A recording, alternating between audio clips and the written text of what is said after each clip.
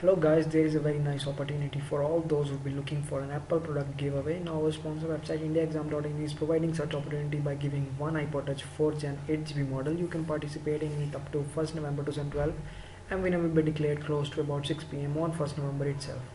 It's very easy to participate. All you have to do is to first subscribe to this channel and then visit link given below and read through the tweet given in that page. So best of luck to all of you guys. Make sure you do it.